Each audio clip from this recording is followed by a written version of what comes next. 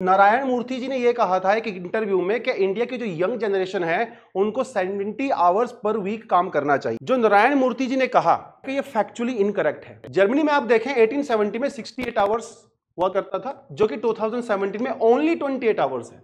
Only 28 hours Japan में अगर आप देखें 1961 में 44 आवर्स और 2017 में 35 आवर्स ओनली ज़्यादा देर तक काम करोगे प्रोडक्टिविटी बढ़ेगा।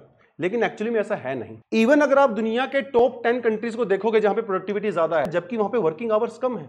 ये जो वेस्टर्न कंट्रीज़ हैं एडवांस कंट्री हैं, ये इसलिए प्रोडक्टिविटी ज़्यादा नहीं करते हैं कि वहाँ के लोग ज़्यादा घंटे तक काम करते हैं। नो इनोवेशन की वजह से। टेक्नोलॉजी अडोप्ट करते हैं।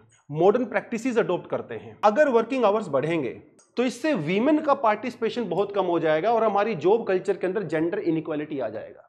एक वीमेन तो 70 आवर्स काम नहीं कर पाएँगी क्योंकि उनके पास दूसरी रिस्पॉन्सिबिलिटी भी होती है। तो वीमेन यहाँ पे डिसएडवांटेजियस पोजीशन में होंगी। और अगर 70 आवर वर्क ही होगा तो कंपनी वीमेन को हायर ही नहीं करेंगी। और लेटर ऑन ये जेंडर जो गैप है ऑलरेडी बहुत ज़्यादा, वो और ज़्यादा बढ़ जाएगा। उसके अलावा और भी बहुत सारे आर्गूमेंट हैं।